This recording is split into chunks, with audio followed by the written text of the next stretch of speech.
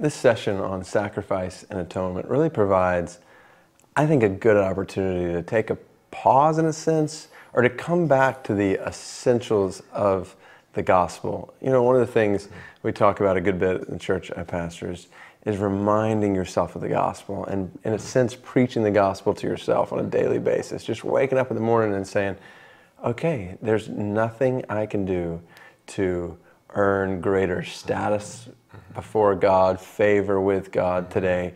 It's already been done for me yeah. in the cross of Christ. He has paid the price. His sacrifice once for all is good. And so I can live out of the joy and the overflow of that. And so, amidst all these things, as we're teaching people to obey Christ, as you're teaching people to obey the commands of Christ, how to live this out, to constantly bring them back to this is the overflow of a place of rest and the sacrifice. So, all that we're doing mm-hmm. is the overflow of, of resting and what has been done for yeah. us. I mean, that was the idea of the Day of Atonement was mm-hmm. this animal was take you know they weren't earning their forgiveness right they just saw this animal take it pay mm-hmm. for you know pay for their crime and there's no there's no making up and mm-hmm. and so it's a great time to have this discussion because we're all I think we're all somewhat conditioned toward works because there's nothing else like this in life. We're just mm. used to working or earning, you know, unless your parents just give you everything. But, mm. you know, for the most part, a lot of us, it's just like,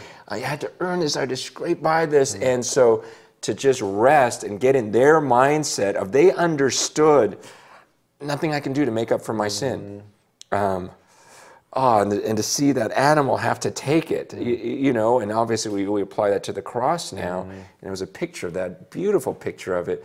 But it would be a good time to maybe have discussion of, you know, okay, let's let's be honest here. Are there times when you try to make up for something you did, or maybe mm. feel the guilt a little bit mm-hmm. longer to show God mm-hmm. you're really sorry, or maybe have a you know a track record. Okay, now it's really good. Now we can approach God because I I you know took some time and made up mm-hmm. for it. And the thing that helped me with all of that is realizing that when I get in that mode of trying to make up for my sin, the attention is all on me. Yeah. Look what I did, Lord. Right. You know, I, I, know I blew it, but what did I do the next two weeks? Yeah. What did I do the next three weeks? You know, who, who are we looking at? Yeah. Versus, I blew it. Someone else, uh, Jesus took that for me. Like all the focus and that's what God wants for all of eternity. Everyone looking at the Lamb and going, He did it, He did it, He did it. And, and maybe you spend some time this week just in thanksgiving, mm-hmm. just just ending your time with, with your disciple. Like, you know, maybe you take communion. Mm. You, you, know, like Jesus commanded. I, I think that's part of communion was He wanted us to remember that. And, and so just to take some time and go, let's, let's remember this is not about us. Here's what it's about.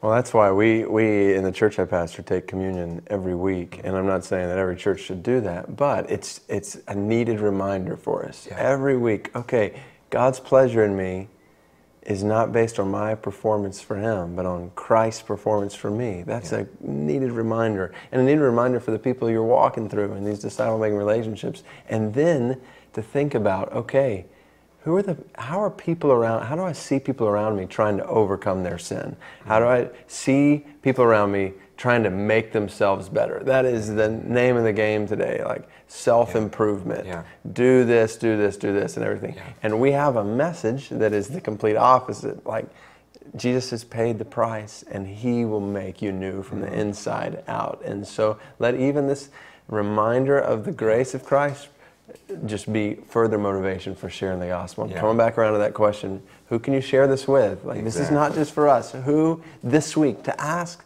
the people you're discipling, like who can you share with this week? And then when you come back together next week, or whenever you get back together, say, all right, how did it go? And so yeah. to really build in, hey, we want to intention this this news of a sacrifice of a Christ uh, of Christ. He has made it possible for us to be one with God. Mm-hmm we've got to make this known. We can't just talk about this over breakfast. Yeah, they have to understand that atonement because we live in a world where so many people believe that they're going to be forgiven because they are good people mm-hmm. and that they've done more good than bad and that somehow made up for it. So you've got to stress mm-hmm. that understanding of what was that day of atonement, what did that, what happened there? And this is not about me, it's about that sacrifice. So worship, thank God for it, and just rest in His atonement this week.